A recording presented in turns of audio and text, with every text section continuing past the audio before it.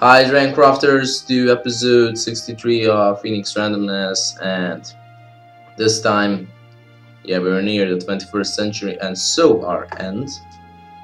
Yeah next time it's going to be two last episodes of Phoenix Randomness. This episode 63 and this time we're going to do years from 1987 to 1997 and yeah so all you have to say is enjoy